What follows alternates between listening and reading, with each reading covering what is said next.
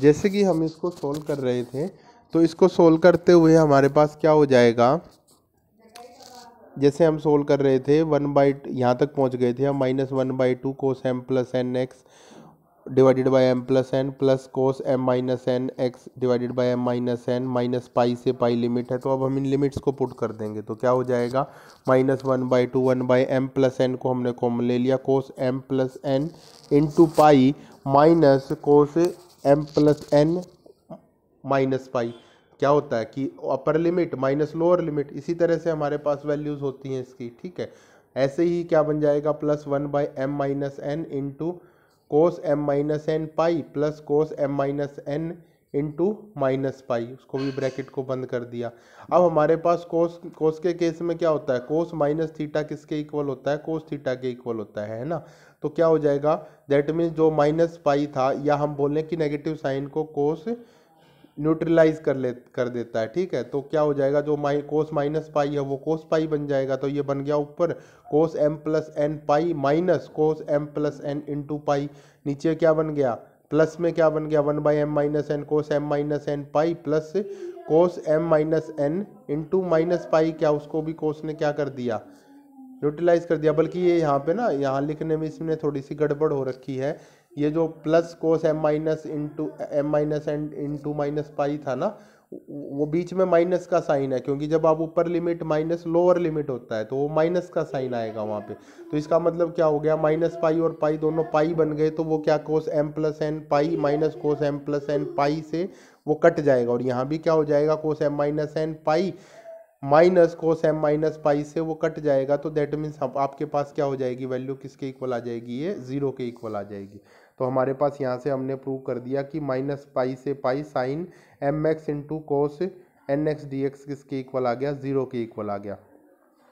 ऐसे ही हमारे पास सेकंड आइडेंटिटी है sine m x into sine n x d x किसके इक्वल आ गया? Pi into del m n del m n क्या होता है? आपके पास क्रोनिकल डेल्टा फ़ंक्शन इसको हम बोलते हैं। मतलब एम इजक्वल टू एन के लिए तो इसकी वैल्यू वन होती है और अदरवाइज़ इसकी वैल्यू क्या होती है? ज़ीरो होती है। तो इसका भी प्रूफ हम देख लेते हैं कि जब हम sine m x into sine n x d x को एक्सपेंड करेंगे तो साइन ए कोस बी किसके इक्वल होता है? Cos a minus b minus cos a plus b तो उसको ऐसे ही हमने एक्सपेंड कर दिया, ये हो गया कोस ए आपके पास क्या है? एम एक्स बी क्या है? एन एक्स तो ये क्या बन जाएगा? Cos m minus n into x minus cos m plus n into x ठीक है? अब उसको इंटीग्रेट करेंगे तो वो बन जाएगा। कोस का इंटीग्रेशन साइन होता है। Sine m minus n x divided by m minus n minus sine m plus n divided by m plus n into x minus pi से पाई है, क्या होगी? लिमिट हो गई जब हम इस लिमिट को पुट करेंगे कि पाई को पुट करेंगे तो साइन पाई हमेशा क्या होता है आपके पास? साइन पाई की वैल्यू कितनी होती है?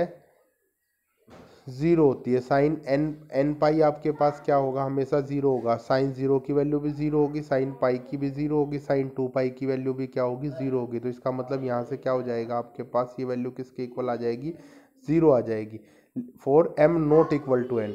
लेकिन जब आपके पास m is equal to n होगा, इसी फॉर्मूले में, जो फ़र्स्ट में m x into sine n x d x में m, अगर n के बराबर हो जाएगा तो ये क्या बन जाएगा? Sine n x into sine n x into d x इसका मतलब क्या हो जाएगा? आपके पास साइन स्केयर एम एम की जगह एन पुट कर लो या एन की जगह एम पुट कर लो तो ये बन जाएगा आपके पास माइनस पाई से pi sine square m x into d x और साइंस केयर थीटा को हम साइंस स्केयर थीटा को हम कैसे लिख सकते हैं? One minus cos two theta. ठीक है, ये आपके पास आइडेंटिटी ट्रिग्नोमेट्री में हम डायरेक्ट यूज़ करते हैं। तो आपके पास क्या हो जाएगा? Sine square m x d x किसके इक्वल हो जाएगा? One by two minus pi से pi one minus cos two m x into d x.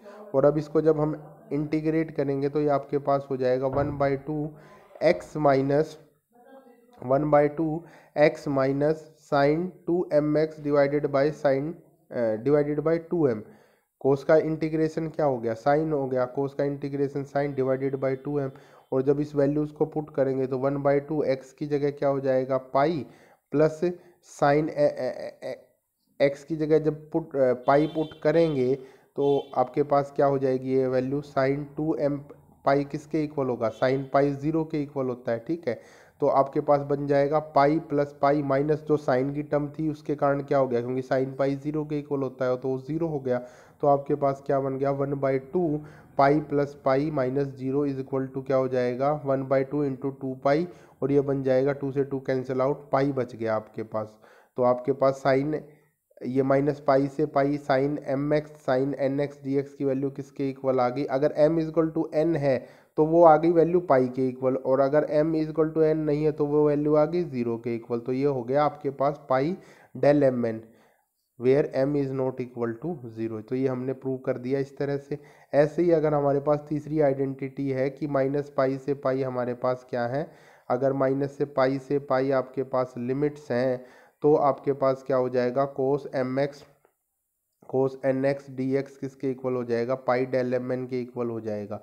तो वैसे ही हम इसको एक्सपेंड करेंगे कोस ए कोस बी किसके इक्वल होता है? Cos a minus b plus cos a plus b into d x अब उसको फिर से हमने इंटीग्रेट कर दिया तो कोस का इंटीग्रेशन साइन हो गया। Sine m minus n x by m minus n plus sine m plus n divided by m plus n और जब इसमें पाई की वैल्यू पुट करेंगे तो साइन पाई क्या हो जाएगा? ज़ीरो हो जाएगा। तो for m not equal to n तो ये वैल्यू ज़ीरो आ गई। जब m is equal to n होगा आपके पास तो m is equal to n के केस में आपके पास क्या हो जाएगा? कोस बन गया आपके पास cos square m x into d x और cos square m x cos square theta किसके इक्वल होता है? One plus cos two theta के। तो हमने cos square m x d x को किसके इक्वल लिख दिया? One plus cos two m x into d x के इक्वल लिख दिया और ये चीज़ किसके इक्वल आ जाएगी? One by two x plus sine two m x by divided by two m और जब आप माइनस पाई से पाई पुट करोगे तो साइन पाई तो आपके पास ज़ीरो हो जाएगा। बचेगा क्या? पाई माइनस माइनस पाई तो वो बन जाएगा आपके पास टू पाई और टू से टू कैंसिल आउट बच गया आपके पास पाई तो जो पाई आपके पास बच गया तो फाइनली जो वैल्यू आई माइनस पाई से pi cos m x cos n x t x की I pi into del m n मतलब डेल एम एन की वैल्यू ज़ीरो होगी जब m not equal to n होगा और जब m is equal to n हो जाएगा तो डेल एम एन की वैल्यू हो जाएगी वन तो जब इस इंटीग्रल की वैल्यू कितनी आ जाएगी? जब m is equal to n होगा तो इसकी वैल्यू आ जाएगी पाई के इक्वल और इस integral cos m x cos n x d x minus pi से पाई लिमिट्स के बीच में इसकी वैल्यू हो जाएगी zero for m not equal to n ठीक है? तो ये तीन आइडेंटिटीज़ अब हम लोगों ने देख ली। अब इन आइडेंटिटीज़ जहाँ भी हमारे, हमें यूज़ करनी होंगी, हम क्या करेंगे? डायरेक्ट यूज़ करेंगे। तो अब उसके पास हम क्या करेंगे? ए नोट की वैल्यू निकालते हैं ए एन की वैल्यू निकालते हैं और बी एन की वैल्यू निकालते हैं। तो ये यहाँ पे इसने कैलकुलेशन करके नहीं दिखा रखी तो इसमें हम यहाँ पे देखते हैं थोड़ा सा। इसको एक्सपेंड करके मैंने लिखा है कि सबसे पहले तो हम निकालते हैं कि ए नोट की वैल्यू अब हम कैसे निकालें। तो ए नोट की वैल्यू निकालने के लिए हमारे पास एफ़ एक्स को हम किसके इक्वल लिख चुके हैं? F x is equal to a naught plus summation n is equal to one से infinity a n cos n x plus b n sine n x ठीक है? इसको मान लेते हैं हम इक्वेशन नंबर ए अब हम क्या करते हैं? इस इक्वेशन एफ़ एक्स को इंटीग्रेट कर देते हैं माइनस पाई से पाई इंटरवल के बीच में, ठीक है? तो इसको, इस इसको जब हम माइनस पाई से पाई के इंटरवल के बीच में इस इक्वेशन को हम डी एक्स के कोरस्पॉन्डिंग इंटीग्रेट करते हैं तो हमें क्या मिलेगा? माइनस पाई से pi f x d x is equal to a naught minus pi से pi d x plus summation n is equal to one से इन्फिनिटी माइनस पाई से pi a n cos n x t x plus minus pi से pi b n sine n x d x तो ये हमारे पास किसके equal हो जाएगा? अब ए नोट हमारा बाहर निकल गया कॉन्स्टेंट है। अंदर डी एक्स का इंटीग्रेशन का मतलब क्या हो गया? एक्स और लिमिट माइनस पाई से pi plus summation n is equal to one से इन्फिनिटी ए एन बाहर निकल गया। ए एन एक कॉन्स्टेंट है। इंटीग्रेशन हुआ किसका? Cos n x d x का। कोस का इंटीग्रेशन आपके पास क्या होता है? Sine sine n x divided by n limit minus pi से पाई प्लस ऐसे ही माइनस आपके पास क्या आ गया? Sine n x d x का इंटीग्रेशन, अब साई का, साइन का इंटीग्रेशन माइनस कोस एक्स तो उस माइनस साइन को हमने बी एन के साथ लिख लिया, minus b n, cos n x divided by n minus pi से पाई। अब इस लिमिट्स को पुट करेंगे तो ये क्या बन जाएगा? Is equal to a naught minus pi minus pi, minus minus plus हो गया तो ये बन जाएगा टू ए नोट पाई, और इसका क्या बना? Sine n pi minus sine n minus pi. अब साइन एन पाई की वैल्यू हमें एन अगर आपके पास एक इंटीजर है तो एन पाई की वैल्यू हमेशा क्या होगी? ज़ीरो होगी। साइन पाई की भी ज़ीरो साइन टू पाई की भी ज़ीरो साइन थ्री पाई की भी ज़ीरो तो ये सारी वैल्यूज़ क्या होगी? आपके पास ज़ीरो होगी। अब वो साइन एन माइनस पाई था तो वो माइनस साइन बाहर निकल जाएगा, वो भी साइन एन पाई बच जाएगा तो वहाँ भी साइन एन पाई की वैल्यू क्या होगी? ज़ीरो होगी। उसके बाद आपके पास आ गया दूसरी plus minus b n divided by n. अब cos n pi minus cos n minus pi. अब हमने देखा कि कोस कोस थीटा किसके इक्वल होता है? कोस माइनस थीटा के इक्वल होता है। मतलब माइनस साइन को कोस क्या कर देता है? खत्म कर देता है। तो ये बन जाएगा cos n pi minus cos n pi बन जाएगा। Cos n pi minus cos n pi zero के इक्वल हो जाएगा। तो इसका मतलब ये आ गई value two a naught pi plus summation n one से infinity a n by n into zero minus b n by n into zero zero multiply with something is equal to zero तो ये zero बन गया, बचा क्या? Two pi a naught. अब यहाँ से ए नोट की वैल्यू किसके इक्वल हो जाएगी? One by two pi minus pi से pi f x into d x.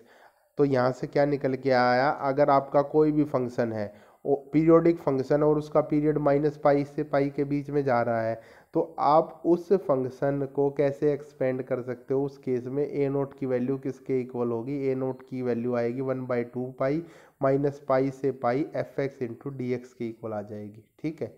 तो इस तरह से आप क्या, आपको कोई भी फ़ंक्शन दे दिया, उस फ़ंक्शन के केस में ए नोट की वैल्यू इस तरह से निकल जाएगी। अब देखते हैं कि हम ए एन को कैसे निकालते हैं। तो ए एन को निकालने के लिए हमें क्या करना पड़ेगा? अब फिर से क्या कर देते हैं? जो इक्वेशन ए थी, उसको पहले तो मल्टीप्लाई करते हैं कोस एम एक्स के साथ और फिर से इंटीग्रेट कर देते हैं दोनों साइड तो लेफ़्ट हैंड साइड तो क्या बन जाएगी? माइनस पाई से pi f x into cos m x d x और राइट हैंड साइड बन जाएगी आपकी a naught into minus pi से pi cos m x d x plus summation n is equal to one से infinity minus pi से pi a n into cos n x तो पहले ही था, उसके साथ आपने कोस एम एक्स को मल्टीप्लाई कर दिया और d x plus minus pi से pi B N into sine M X into cos M X into D X अब इसमें आपके पास जो cos M X into D X है, वो तो ज़ीरो के इक्वल हो जाएगा, क्योंकि हम पहले भी प्रूव कर चुके हैं ये।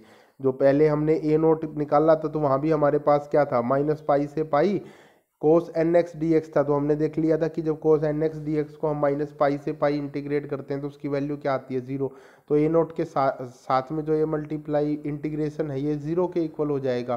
तो पहली टर्म तो ख़त्म हो गई प्लस जो हमारे पास अब दूसरा बचा summation N is equal to one से इन्फिनिटी माइनस पाई से pi A N cos M X into cos N X D X तो हमने जो आइडेंटिटी हमारे पास थी आइडेंटिटी नंबर थ्री जो हमने आइडेंटिटी नंबर थ्री ये देखा था कि cos M X into cos N X D X किसके इक्वल होगा? पाई के इक्वल होगा।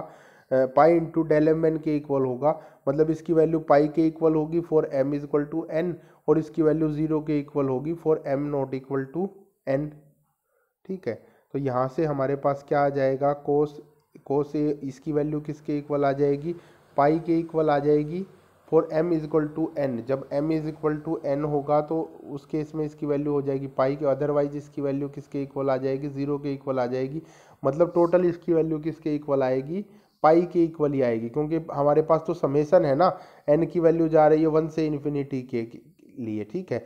तो एक केस ऐसा भी आएगा जब एन एम की एम जो आपका बेसिकली एन है, उस एन की वैल्यू एम के इक्वल होगी। तो जब m की वैल्यू n के इक्वल हो जाएगी तो उस केस में तो आपके पास बन जाएगा पाई इस इंटीगल की वैल्यू और जब और सारे केसेस में जब m की वैल्यू n के इक्वल नहीं है, उन सारे केसेस में आपकी इस इंटीगल की वैल्यू बनेगी ज़ीरो तो फाइनली अगर ये समेसन है सभी का तो इस इंटीगल की वैल्यू कितनी आ जाएगी? पाई के इक्वल आ जाएगी. और उसके बाद है प्लस माइनस पाई से pi B N sine M X into cos M X D X तो आपके पास इस इंटीगल की वैल्यू किसके इक्वल हो जाएगी? हमने देखा था आइडेंटिटी जो आपके पास वन है। ये आइडेंटिटी वन आपके पास क्या बोलती है?